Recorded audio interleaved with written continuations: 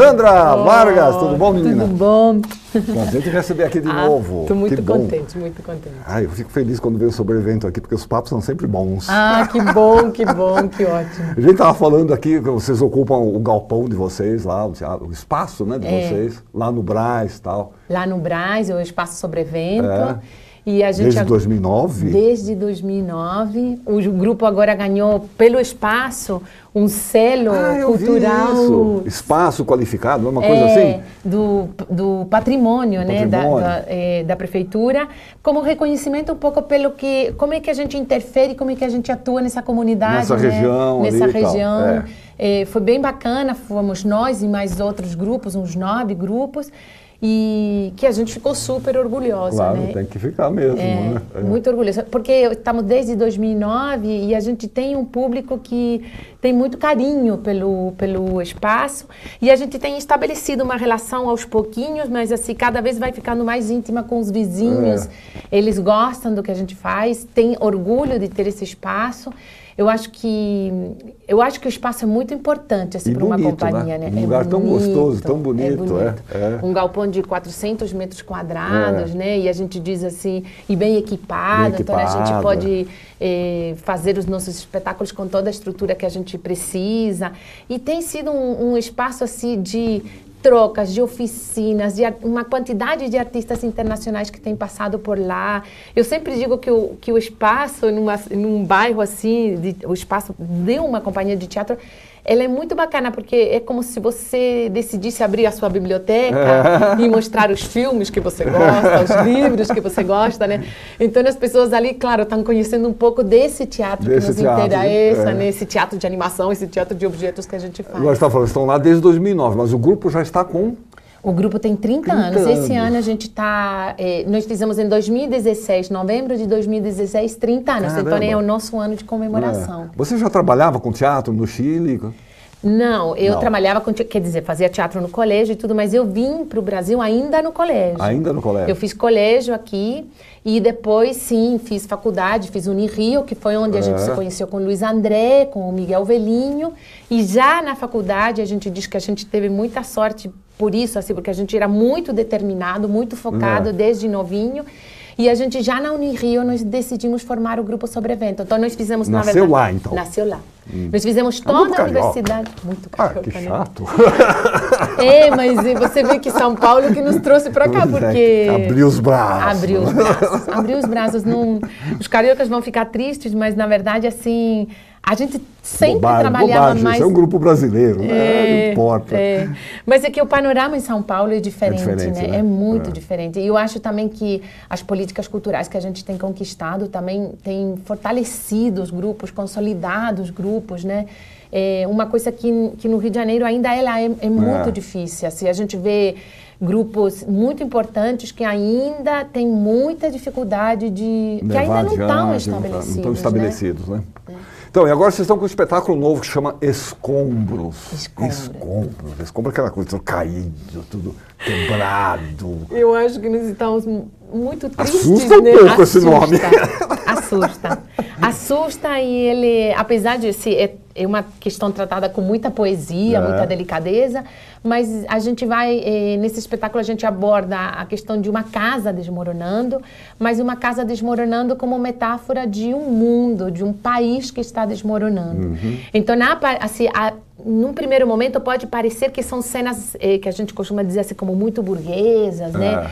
É. Eh, de um casal vendendo a casa, ou da falta de comunicação de um casal, de relações que vão se desgastando, que, desgastando se é. que estão ruindo, mas que na verdade são situações que a gente criou como símbolo é, de uma sociedade que, na verdade, estava ruindo já há muito tempo e que talvez as coisas estejam desmoronando você, uh, bem uh, antes do que a gente imaginava. Né? Uh, mas você imagina, a ideia surgiu a partir da situação que o país está vivendo? É, é, é esse. A ideia é esse, surgiu, surgiu, a partir, daí, surgiu a partir. Que a gente daí. sente isso, que o país parece que está está derretendo, está desmanchando, é. tá, né? as coisas estão se desfazendo. Desfazendo. A gente foi, não, não tinha como a gente não se influenciar por esse sentimento, mas é, partiu de uma questão assim, da memória.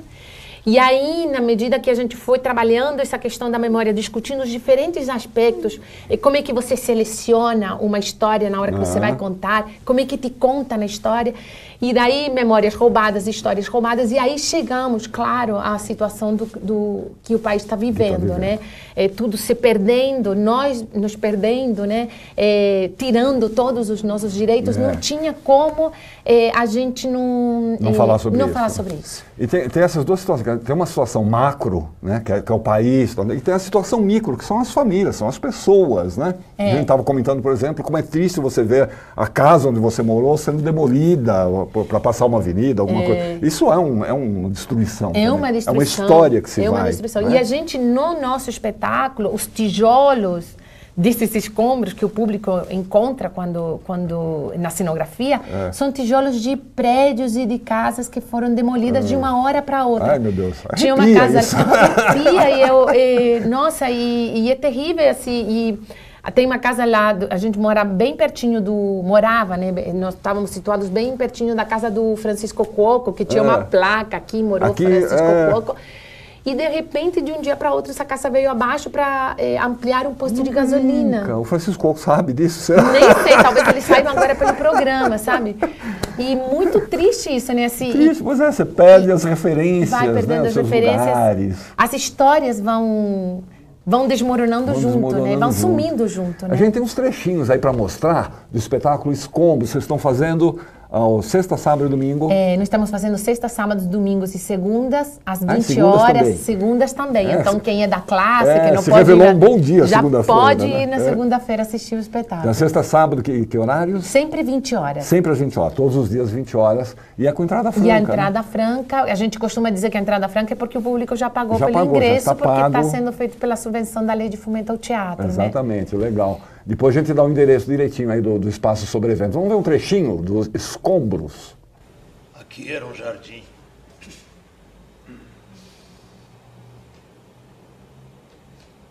Tinha um pé de amora. Uma roseira que o meu avô plantou. Com o tempo, ficou assim. Desse jeito que eu sou agora.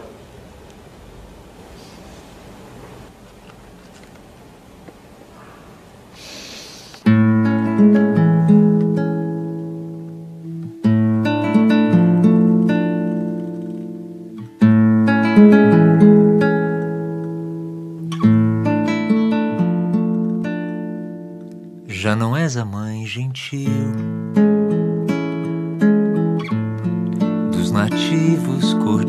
cordiais.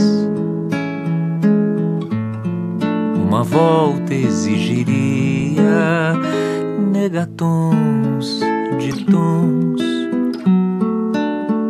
de sabiás pelos leblons. A gente está vendo aqui a cenografia, terra no chão, o que é aquilo? É terra, é terra no, chão, no, chão, terra, tijolos e escombros que nós pegamos dessas casas que foram demolidas durante, no, durante é. o processo do, do espetáculo. Aí vocês ficam andando pela rua, olha! É. Aliás, o sobrevento adora fazer isso.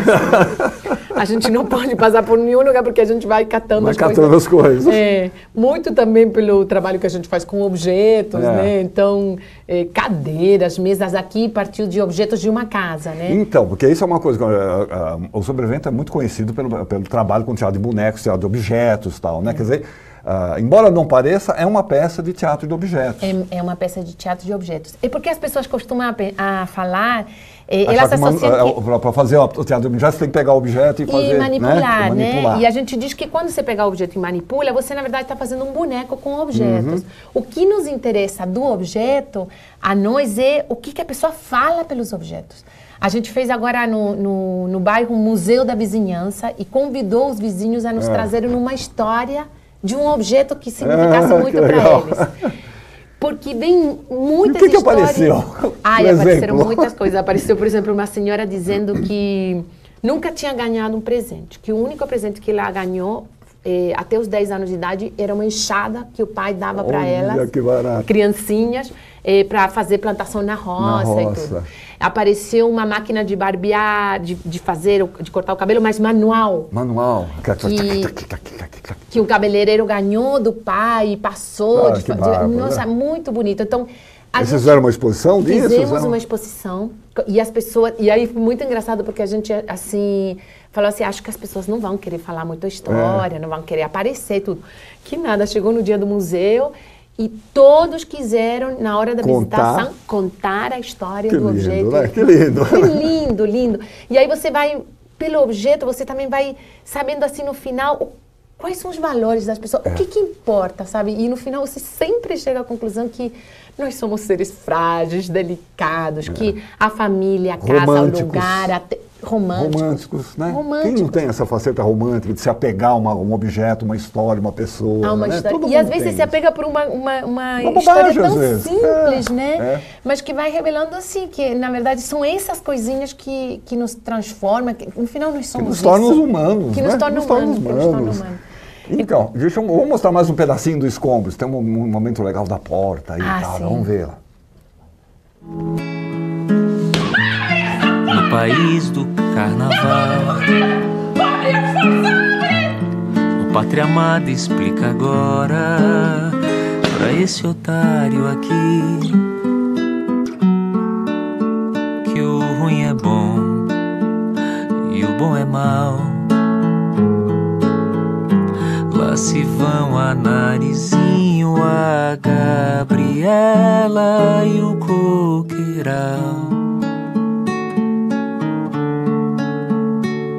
Recebe o afeto que se encerra, porque eu contigo me aborreci. Injuriado eu subo a serra, embora ainda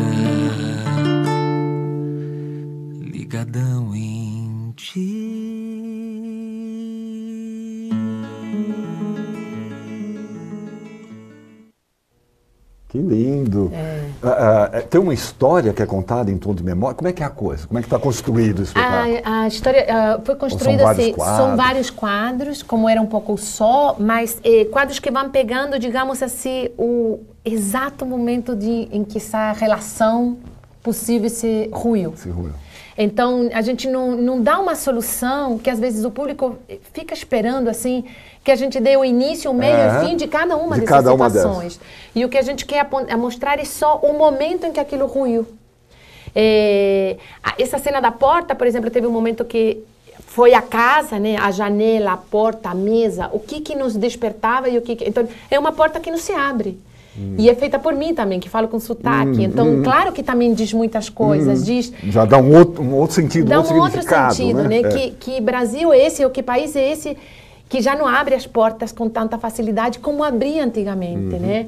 É, como que a gente está se tornando, como é que a gente se endureceu, né? E essa canção que a gente acaba fechando o espetáculo foi um presente, é uma canção do Geraldo Roca, que fala desse afeto que se encerra em relação Parece a... que foi feita para peça. Foi feita para peça. Né? Foi feita para peça, as pessoas se emocionam muito, porque é um pouco tentar entender que momento é esse que a gente está vivendo e que também não tá, não é uma coisa que tenha se tá longe de nós, tá não, não, uhum. não temos culpa tá talvez. ao nosso redor aqui é, né? e a gente participa, a gente faz participa, parte desse negócio. E eu acho que a cada porta que a gente não abre ou a cada discurso de intolerância, a gente também vai contribuindo para uma sociedade cada vez mais desumana, mais individualista, né? Hoje mesmo de manhã eu falava assim, eu nunca senti meu sotaque tão estranho como eu estou sentindo agora, nesses últimos tempos. Num país que eu cheguei, quando eu cheguei aqui ao Brasil, fugida da ditadura, me lembro que eu cheguei num apartamento totalmente vazio, meu pai foi tomar um café numa padaria, contou a história, e os vizinhos daquele bairro começaram a bater a porta, a gente sem entender direito a língua, uma senhora chegou com um sofá, outra chegou com, uma com um fogão, uma outra senhora chegou com um filho e falou assim: vem cá, filho. Botou a escada, nos botou cortina. Uhum. E a gente, assim, sem entender tamanha generosidade que é própria do brasileiro, mas que a gente está se deixando contaminar tá né? com um discurso é. que eu acho que é mundial de, de intolerância e de eh, individualismo, individualismo exacerbado, e, uma é, coisa. É. E em função também de uma coisa tudo em prol de um discurso do, do, do que, que dá certo economicamente, como se a ordem das coisas fosse só isso, né? Uhum. E acho que esse espetáculo justamente fala disso. E ontem mesmo a gente estava num debate e um vizinho entrou e falou como que ele também tinha passado por um eh, morado num bairro que também tinha sido destruído por uma avenida e muitas pessoas falando assim de como dói uma praça que já não existe mais, uhum. uma caça que já não existe mais, né? Como é que a gente às vezes gosta de passar e dizer, olha aqui eu estudei, uhum. eu estudei nesta escola. Então, realmente nós somos fe feitos de uma, uma, outra matéria. Que dá né? um sentido de pertencimento, né? Exatamente. Eu faço parte dessa Daquele cidade, lugar, né? desse lugar, deste país, é. né? Dá é. esse sentido. E como é que é terrível essas, essas memórias que vão eh, se destruindo e que a gente talvez vai faz tem um discurso às vezes muito endurecido de não isso é uma bobagem isso não é. me afeta e eu acho que no final afeta a afeta. família também é. que às vezes a gente critica a família e tudo, né? mas o quanto que a gente sente eh, saudade e precisa também desse desse carinho agora né? vocês, vocês tinham feito aquele espetáculo Só que você mencionou tal agora é isso, isso como vocês têm uma pegada meio nostálgica no grupo é uma característica eu acho que, sim que o talvez São a gente tenha o São Manuel, Manuel Bueno é. Mártir que é um espetáculo maravilhoso que vocês fizeram nos tempos atrás. Também tem uma pegada nostálgica. Tem uma pegada nostálgica. Eu acho que talvez os objetos, eles nos levem a falar isso. Apesar de que o Luiz André Cherubini, né, que é uhum. diretor do, do, grupo junto comigo, né, ele, ele, por exemplo, tem uma pegada bem engraçada. Né? ele, ele é um excelente mamulengueiro, mas é um excelente mamulengueiro. Ele tem uma pegada de humor bem... É, bem forte assim, né? Até no Manuel ele fazia um personagem que quebrava um pouco isso, né? Mas sim, eu acho que talvez a gente tenha por conta, eu acho que os objetos os têm objetos uma coisa acabam trazendo essa trazendo, carga, né? né? É. Porque eu acho que é engraçado porque até no Museu da Vizinhança eh, foram poucas as histórias engraçadas que vieram. Hum. Veio uma história muito engraçada de um, de um menino da padaria, da frente da padaria, em frente ao sobrevento, que dizia que o, eh, um cachorro dele morreu e que ele queria jogar num, num, rio e então ele tinha comprado uma televisão e tinha guardado a caixa. Hum. E o pai falou assim, meu filho, você vai lá jogar no rio, eu estou trabalhando, vou te dar um dinheiro para um táxi e você bota o cachorro na, na, na, na caixa? caixa de televisão. E eles botaram, ele era criancinha, 11 anos, pegou um táxi e o taxista, achando que aquilo era uma televisão nova, parou o carro, mandou eles embora e seguiu com a caixa de televisão. Roubou a televisão. Provavelmente encontrou aquele cachorro ali na, quando, quando, chegou em casa, né? Então, sim, algumas histórias engraçadas apareceram, mas a maior parte das histórias era nostálgica. Nostálgica. Né? Nostálgica. Então, espaço sobre evento, os escombros, sexta, sábado, domingo e segundas às 8 da noite. Isso. Dá o endereço do espaço. Com entrada franca. Com entrada franca. É, o sobrevento fica no, na rua Coronel Albino Bairão 42, a dois quarteirões do metrô Bresse. E as pessoas podem fazer reserva no e-mail info@sobrevento.com.br. A gente está vendo lá, info@sobrevento.com.br. É. E isso facilita muito, né? Não precisa chegar com uma hora de antecedência, é. chega em cima da hora com o ingresso reservado e assiste as compras. Sandra, obrigado oh. pela tua presença. Obrigada. Um abração do André. Tá bom, tá eu bom? Dou. E sucesso para vocês, mais sucesso. Oh, obrigada. Quando vocês forem para a China, na volta passa aqui para contar como é que foi. Ah, tá sim. Bom? Sim, tá bom.